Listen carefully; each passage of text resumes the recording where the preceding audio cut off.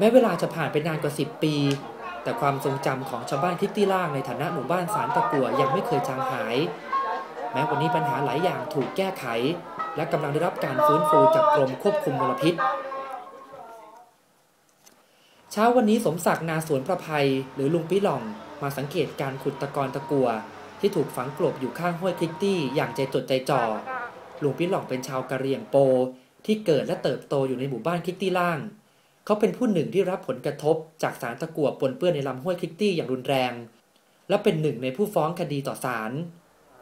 แม้วันนี้ลุงปิหล่องจะได้รับเงินเยียวยาจากรัฐถึง 1 7 0 0 0 0 บาทตามคำสั่งศาลแต่ลุงบอกว่า เงินยังไม่ใช่คำตอบห้วยคลิตี้ที่ได้รับการฟื้นฟูต่างหากคือคำตอบของลุง ที่ที่ที่จริงอะมา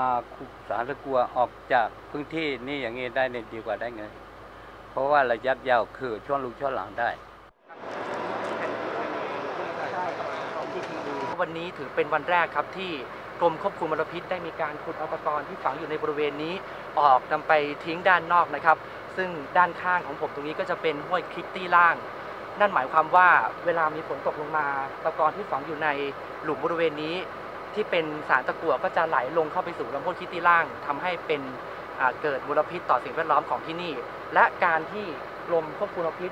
มาเอาตะกอนตะกั่วนี้ออกจากพื้นที่ก็ถือเป็นหนึ่งในมาตรการที่จะฟื้นฟูสิ่งแวดล้อมของที่นี่ให้กลับมาเป็นเหมือนเดิมครับ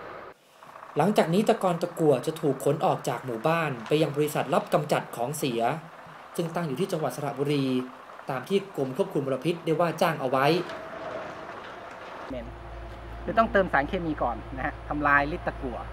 เสร็จหลังจากนั้นก็จะเอาไปทำเป็นก้อนแข็งเป็นซีเมนต์แล้วค่อยเอาไปฝังกลบในหลุมฝังกลบแบบ secure landfill นะฮะ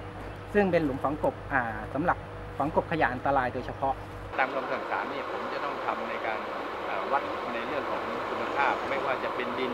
เป็นน้ำตะกอนและก็ในสัตว์ในพืชเนี่ยเราก็จะทำต่อเนื่องกันไปทุกสามเดือนนะครับต่อมาในช่วงบ่ายมีวงเสวนาระหว่างชาวบ้านกับกรมควบคุมมลพิษ ดูเหมือนว่าลุงปี๊ดหล่องยังไม่วางใจ และขอติดตามการฟื้นฟูของกรมควบคุมมลพิษในระยะยาวที่ผ่านมานี่ยังไม่ได้ทำอะไรนี่เพราะว่าสำรวจทุกปีแล้วก็หน้าฤดูไหนที่มีสารตะกั่วเยอะที่สุดเลยหน้าไหนไม่ค่อยมีนี่ถ้าเริ่มทำงานอย่างนี้จะให้ผลจากชาวบ้านนี่มีนะระยะสามปีอย่างนี้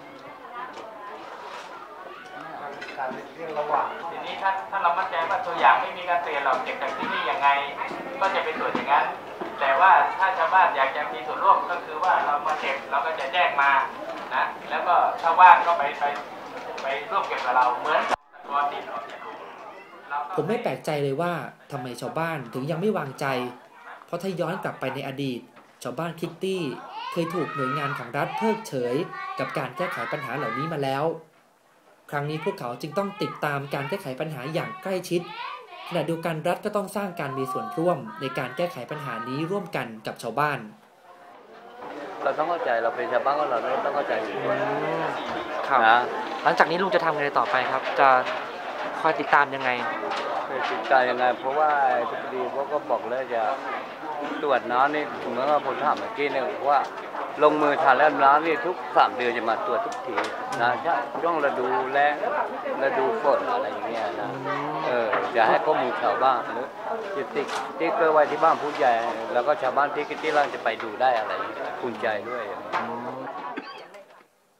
ความเข้าใจระหว่างรัฐกับชุมชนเป็นสิ่งสำคัญในการแก้ไขปัญหา และความจริงใจจากรัฐในการฟื้นฟู ก็คงเป็นสิ่งสำคัญเช่นเดียวกัน ที่จะทำให้ชาวบ้านวางใจได้ อย่างไม่มีเงื่อนไข